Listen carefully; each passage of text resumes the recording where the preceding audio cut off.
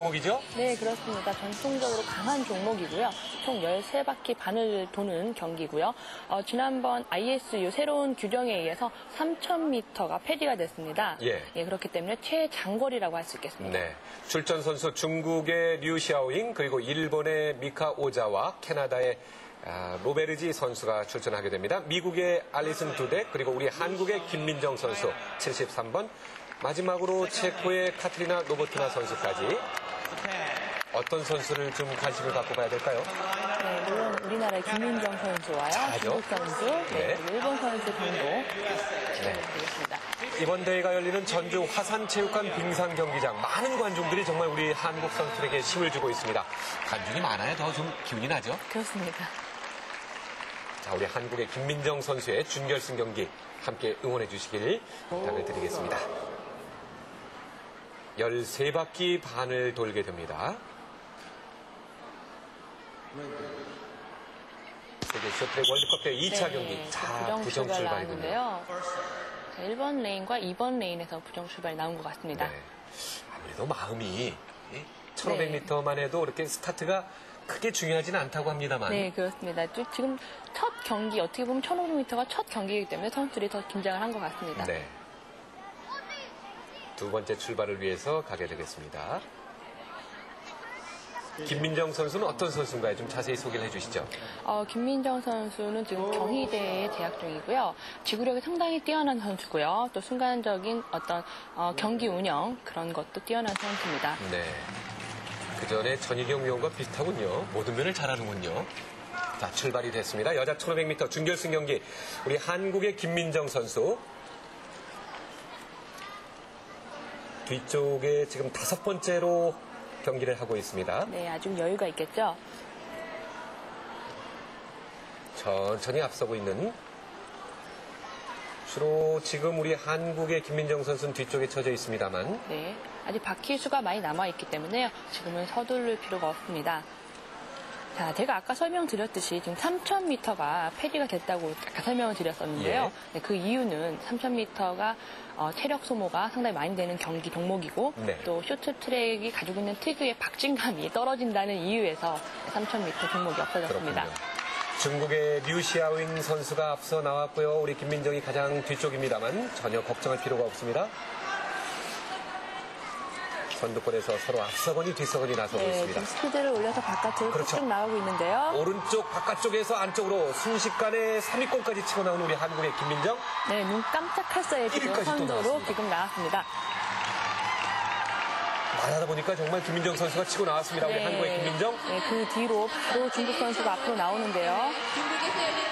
준결승 중국의 류시아윙 그리고 우리 한국의 김민정 1위와 2위로 지금 질주하고 있습니다. 남은 바퀴 이제 여섯 바퀴.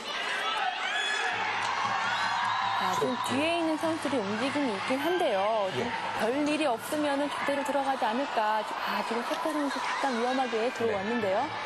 뒤쪽에서 중국의 류시아윙 앞쪽으로 못 나오도록 나갔습니다. 김민정은 3위. 자, 앞쪽으로 쭉 나옵니다. 이제 네 바퀴 2위로 올라섰고 네, 김민정 선수 다시 한번 스피드를 내보는데요.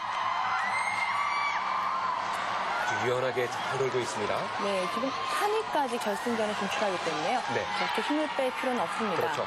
뒤쪽에서는 지금 캐나다 로베르지, 중국의 류시아오잉 그리고 우리 한국의 김민정이 1, 2위. 자 앞쪽으로 역시 캐나다 선수가 나오고 있습니다.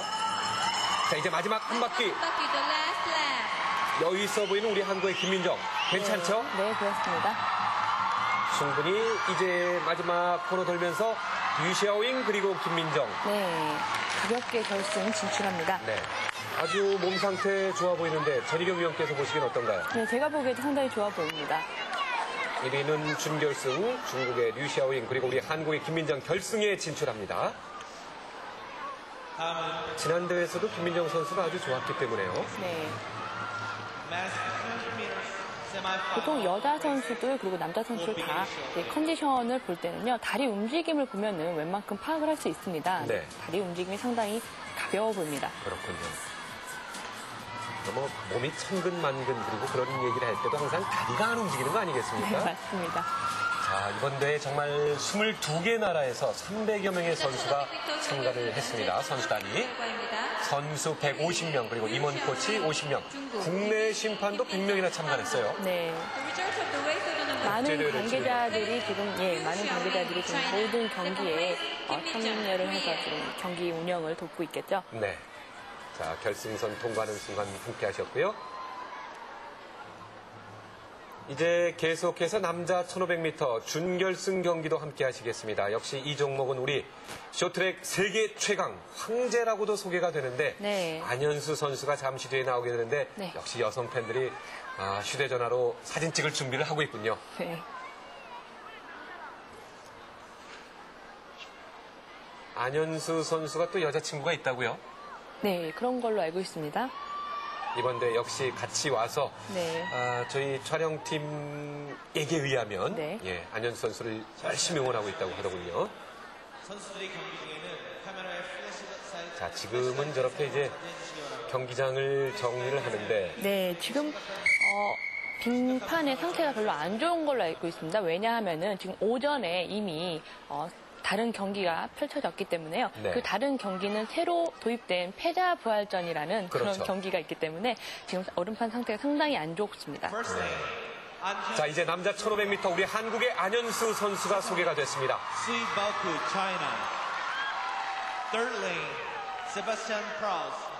그리고 중국 선수, 독일 선수, 캐나다 선수까지 소개가 되고 있고요. 벨기에, 폴란드 선수까지 여섯 명의 선수가 출전을 하게 됩니다.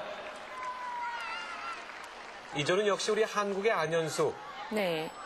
자, 그리고 어, 캐나다 선수를 눈여겨보시면 되겠습니다. 그렇습니다. 자, 남자 1500m 준결승 경기인데요. 가장 안쪽에 우리 한국의 안현수 그리고 네 번째 캐나다 선수를 주목하시면 되겠습니다. 네. 자, 모든 경기는 안현수 선수 위주로 경기가 진행이 될 것으로 예상이 되기 때문에 그렇게 서두를 것 같지는 않습니다. 앞선 선수나 뒤쪽의 선수나 모두 안현수 선수를 주목하고 있는 거죠. 네, 그렇습니다. 어, 외국 선수들이 이제 안현수 선수에 대한 그런 인터뷰가 있었는데요. 어, 뭐라고 그러셨는지 아십니까? 뭐라고 얘기하던가요?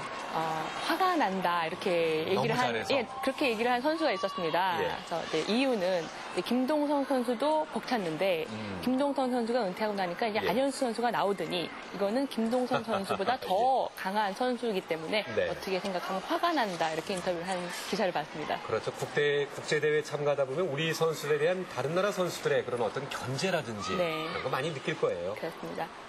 그러나 그 견제를 뚫고 우리 한국 선수들이 이렇게 매 대회 좋은 성적 잘 내고 있습니다. 자, 안현수 네 번째로 지금 질주를 하고 있고요. 역시 캐나다 선수를 주목을 해야 된다고 했는데 안현수 뒤에 바짝 붙어서 네. 자, 안현수 선수가 나가기만을 지금 기다리고 있는 그렇죠. 거겠죠. 현재 선두는 중국.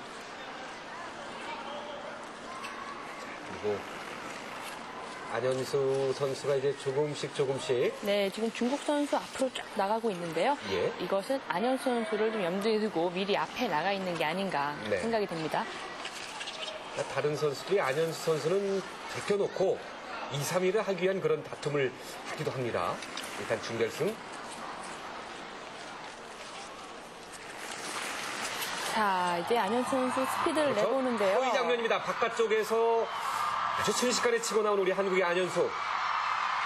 2위까지 올라왔고 3위 다시 한번 힘을 내죠. 네. 1위로 나갑니다. 여유가 있군요.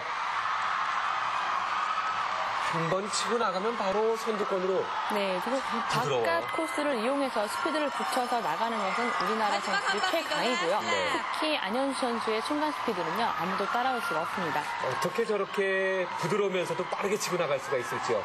자, 안현수 여유있게 남자 1500m 결승에 진출합니다.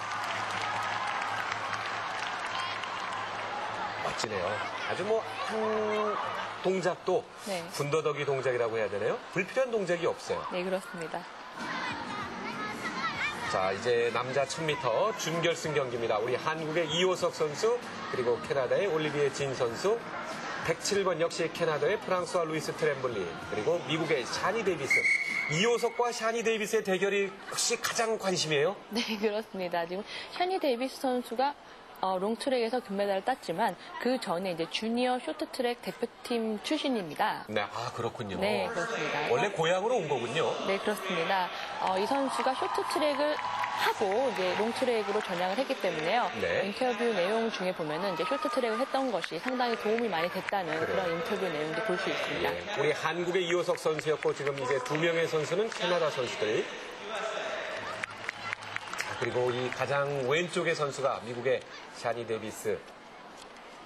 스피드 스케이팅과 쇼트트랙. 이렇게 종목을 넘어 다녀도 괜찮군요.